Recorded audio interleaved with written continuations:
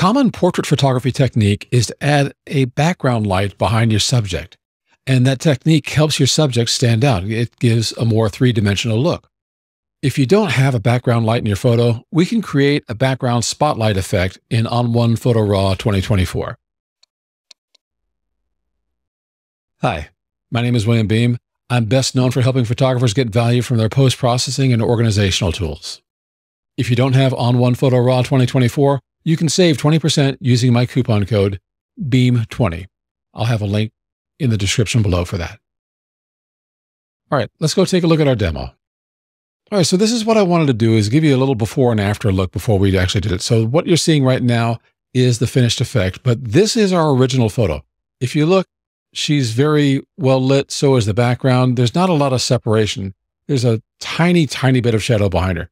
But if we look at the after effect, then you can see she really stands out much more from the background. And that's kind of what we want to do. So let me reset this and then I'll show you how I built it.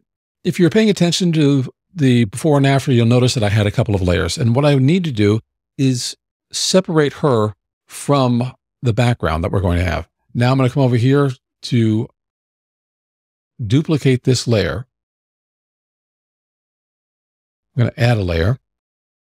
So you can see we've got two layers. The one over here, I've got copy one. I'm going to come up to masking and I'm going to choose people. So I've got her. And then I'm going to come down and apply that if I don't screw up too much. So, all right, there we go and apply. Finicky little thing sometimes. And it'll go ahead and make the mask for it. And that's exactly what I want. You see, I've got my mask right here. I want to come down to this one and I want to do something similar, but I'm going to also have to invert it a little bit. So here's what I'm going to do. Since I've selected this layer, I'm going to come up to my mask and I'm going to choose this icon to make a copy of that. And then I'm going to come down here and I'm going to go back to masking and I'm going to paste that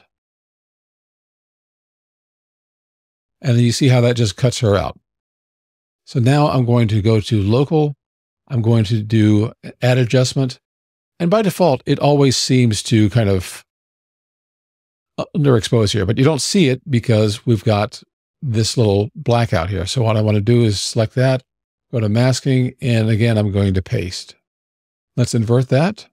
So now you can see I've got two masks here and I'm inverting them. So now let's come over here to grab our mask. We're going to come up to this section. We're going to choose a gradient mask and I want to choose center. So there's several types of gradients. We're going to choose center. We're going to click right on her nose. And you can see automatically how it's kind of dark in the background. I want to shape this now. Now we can use this handle to kind of turn this around in case you're not getting to these little dots.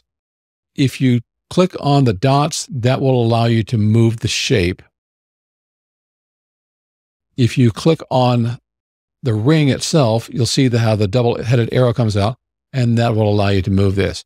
What I want to do is I want to make this outer ring expand just a bit further. And you can see how we can just kind of move that around. And that is how we got our look. So let's come back down here to our before and after. So that's where we were, and that's where we are now.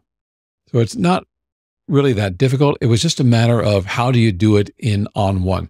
There were a few things that I tried in here that just really didn't work.